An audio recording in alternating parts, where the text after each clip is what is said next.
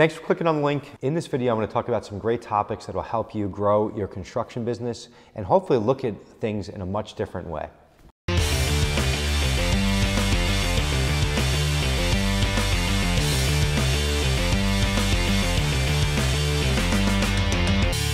Two really important things I'm going to talk about in this video.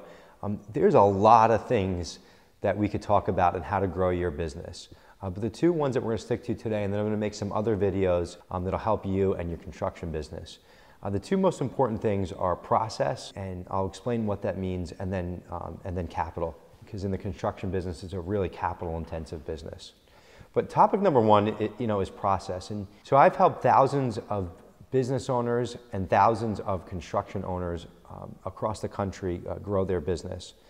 And the one thing that I see with the, a lot of businesses and a lot of industries, but especially in the construction space, is there's never really a focus on process, which is understandable. I mean, a lot of times when you start your construction business, it's you yourself and maybe one other person, and you're just focused on getting the next job, and the next thing you know, you're just inundated in, you know, in the day to day and just on to the next job, and you're going from job to job.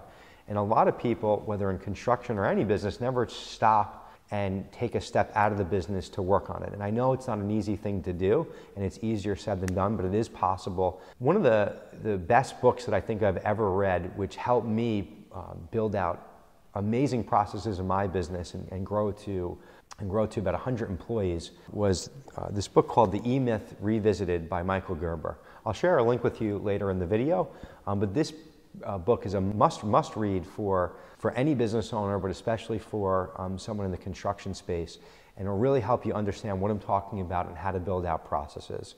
And all, processes start with what happens from when the phone rings, who's answering that phone, who's scheduling um, the estimates, who's scheduling the jobs, who's putting the route together, who's ordering the materials, who's collecting on the job to make sure that it's paid. All those things require processes and they're not you know, you can't really build them out, build them out over a night or a weekend. They take some time and you'll have to always be improving those processes. But once you put those processes in place, you can move from business operator to business owner and there's a major difference. And with processes in place, you, you can really focus on growing the business and get to really where you want to go. Let me paint a picture for you of what this could look like in your business. Imagine if the phone rang and there was someone designated that answered that phone and that person automatically scheduled your next job, and that job appeared on your calendar or your team member's calendar without you ever having to get involved. And then you go and you do the estimate or do the job. Once that job's complete, there's a process or someone in place that would go and actually collect the money um, and make sure that, that that invoice or job was paid.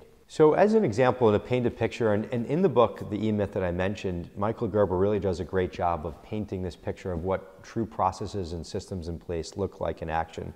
But imagine if your business, um, you had things in place where phone calls came in, you never were involved with those phone calls, they were answered, jobs were, were scheduled or estimates were scheduled, and those automatically appeared on you um, or your other team members' calendars, and they were already they were out at those jobs doing the estimates, and then those estimates turned into scheduled jobs without you again ever having to get involved.